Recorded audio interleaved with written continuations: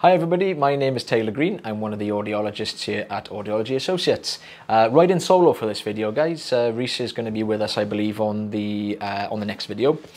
Um, so what we've got here, this patient actually came in to see myself uh, a couple of days ago, actually. Now you can see what we've got here. We've gone straight in with a crocodile forceps here. Um, we've got very, very sort of dry skin plugs which are at the entrance of the uh, ear canal here. So these are actually very, very solid. And I do apologize again about the brightness, guys. I, I, I think I do change it at some point. Um, but the first thing we noticed with these plugs is they, it's, it's quite angular.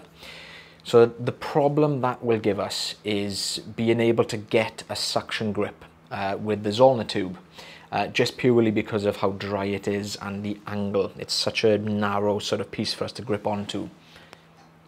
So most of this most of this wax removal in this ear is actually with the crocodile forceps. So we're taking away this next little bit here.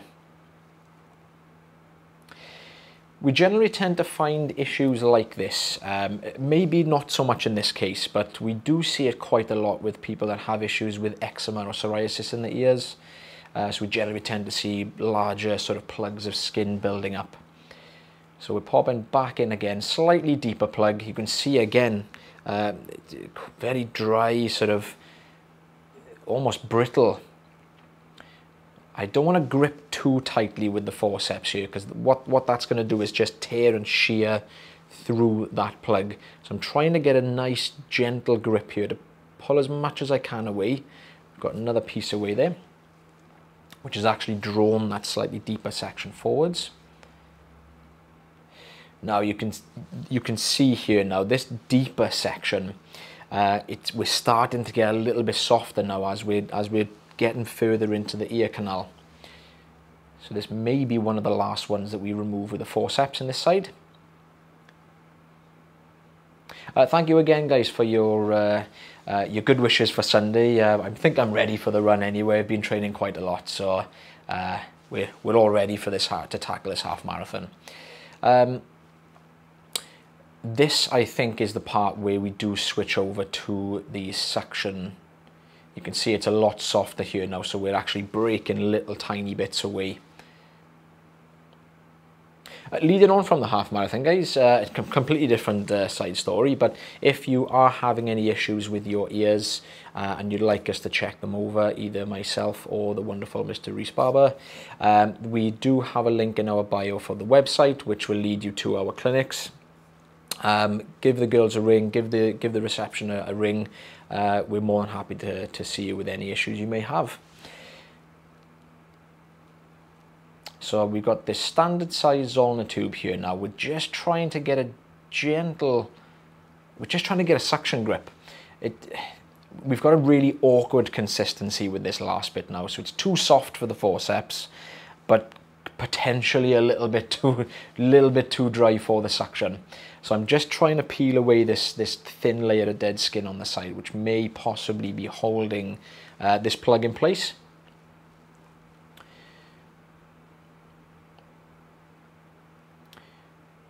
Here we go. What I'm going to try and do here now is just lift. You'll see me kind of moving upwards. There we go. So I'm trying to dislodge this from the anterior recess because a lot of the time you tend to find these deeper uh, plugs will be holding into that that sort of recess, which is a, a, a, slight little dip or a trench that we would normally see just in front of everyone's eardrum. So we've got another big piece away there.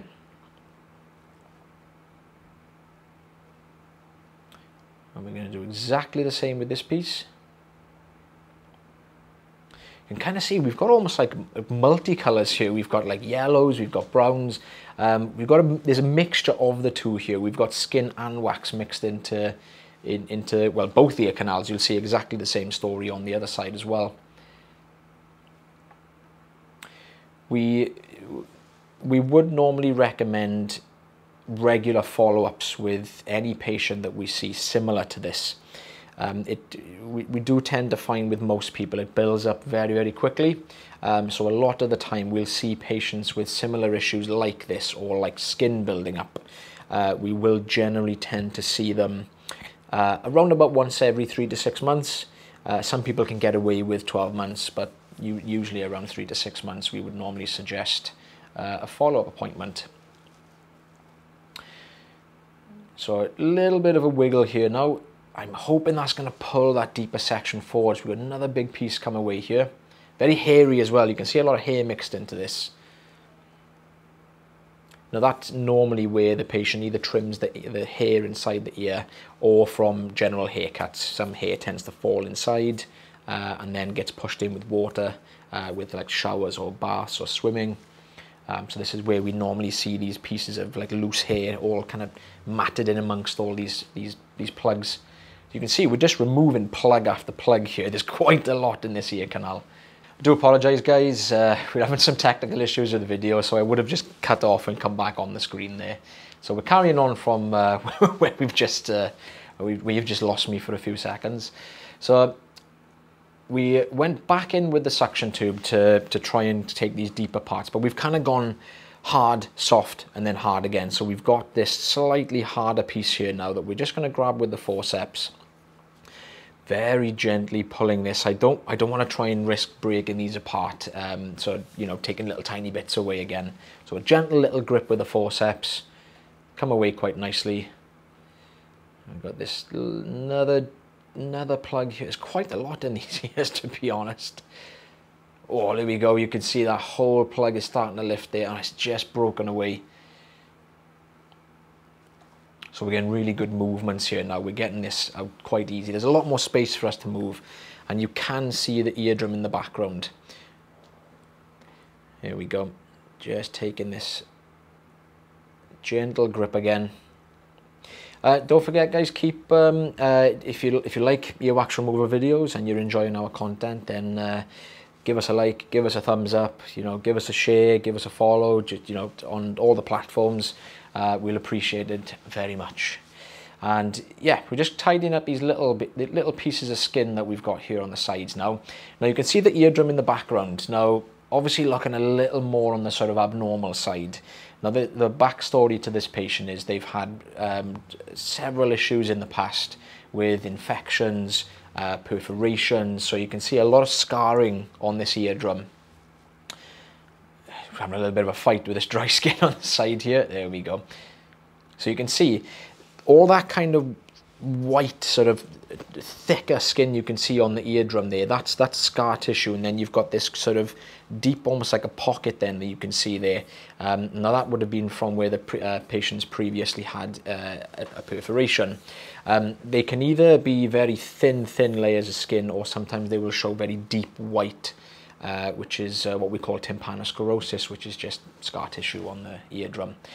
Very similar story on this other side here now, so very, very dry again at the entrance. You can see I'm actually struggling to get a suction grip here. It's so dry. What usually happens with these drier pieces, you can, we've just got lucky there. So sometimes with a little bit of a wiggle, we, it, it can sometimes come loose even if we are struggling to get a suction grip. But again, mixture of mixture of the both. We've got a we've got a lot of dead skin. We've got wax building up in here. God, you can you can see just how tough this is to try and grip onto. I'm I'm only doing very fine movements, but I'm losing that suction grip very very easily. So I'm trying to. I'm I'm kind of almost using the, the Zollner tube as a, as a Jobson Horne here. So I'm trying to get a little bit of a suction grip on the top of this skin plug, but and then trying to pull it down at the same time. So similar movements to what we would do with the Jobson Horne. And that suction, as, as well as the movement down, can sometimes help to roll this forwards. We've got another little piece there.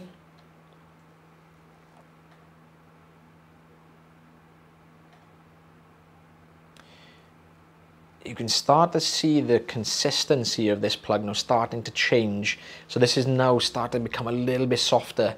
So we've got a very similar story to the to the uh, to the other ear. Um, here we go. I'm lifting this off the ear canal, trying to peel this away. That usually loosens the whole plug away, and sometimes we can get this out in, in one go if we're lucky.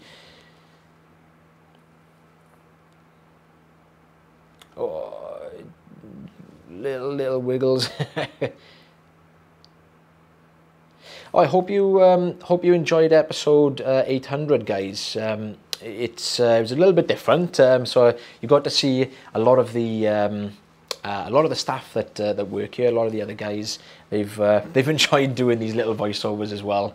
Um, so yeah, it was uh, it was a little bit different for us, and it was quite quite enjoyable showing you some of our favourite favourite videos from the past.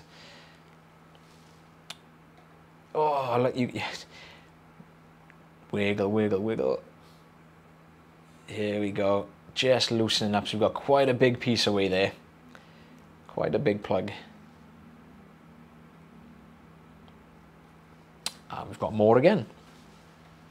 So it's, again, very, very similar to the other side. This, we already kind of know this wax is going to be quite deep into the ear again, um, just because of how compact this is.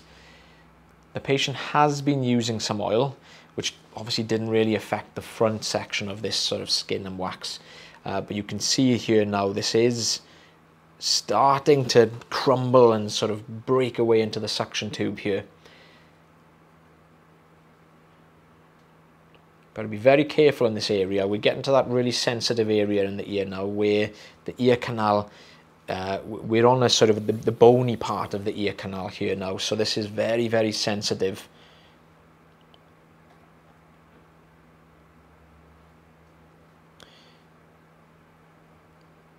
Here we are. I've introduced a bit more olive oil here now just to try and seep into those little gaps that were around this plug. And this should should help us take this out a lot easier.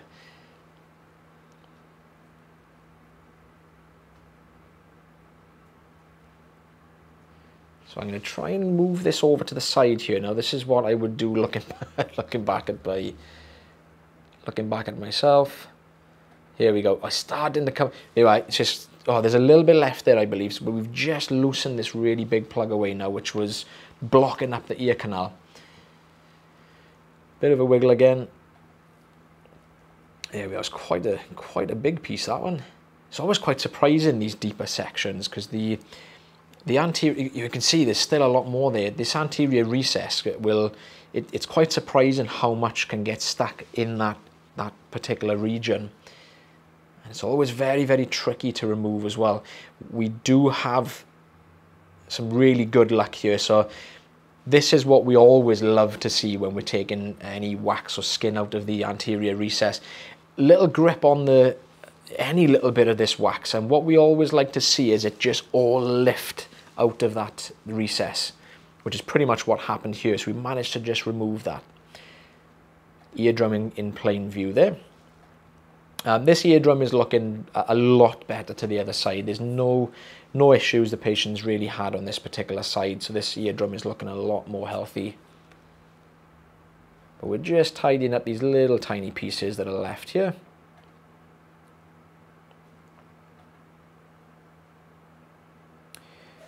Uh, we're not overly concerned about these little tiny pieces that are left, uh, but we just wanted to try and get as much as we possibly could and there we are.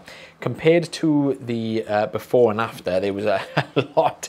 And this is what we've removed. So we've got, what's that, six and a, six and a half centimeters. Got two and a half inches worth of skin and wax there. And I was joking with Rhys earlier. It kind of looks like a one of those mixed bag of like raisins and sultanas you can get. Uh, love our food analogies. Well, uh, thank you very much for watching this video, guys, and uh, uh, I shall see you. It'll be me and Rhys on the next video. Um, so take care of yourselves, take care of your ears, and take care of one another, and we shall see you on the next video. Thanks, guys.